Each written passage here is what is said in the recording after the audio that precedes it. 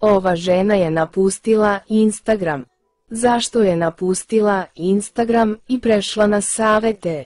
Jedna fotografija koju sam postavio na platformu Tips je direktno povezana sa novcem. Šta misliš? Ona je veoma mudra i pametna žena. Da li je vreme novac? Facebook, Instagram i Twitter su bacanje novca. Izdala je sobstvenu valutu, Tipscoin, koja može da štampa novac kao luda. Ona uživa u svakom danu i sanja da preko noći postane milijarderka. Zašto? Zato što ona zna budućnost platforme, TIPS i eksplozivnu moć platforme. Kasnije, TIPS sanja da bude uvršten na USNEA, SDAK i Korea kao OSP. Osoba koja je kreirala TIPS coin je Korejac po imenu Chagwan Seong.